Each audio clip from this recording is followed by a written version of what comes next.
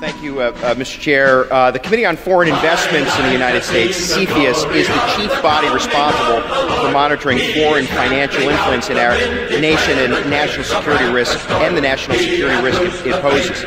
My amendment would direct CFIUS to evaluate the rising threat of U.S. Uh, agricultural operations owned by adversarial nations. Food security is national security, and recent reports and the reality uh, of a disturbing trend of increased ownership of farm operations by entities with ties to, to the Chinese and Russian governments is alarming and dangerous.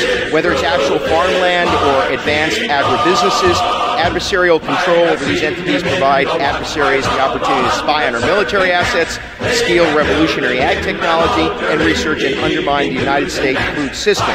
This issue has garnered bipartisan support on the Agriculture Committee because it's essential for us to protect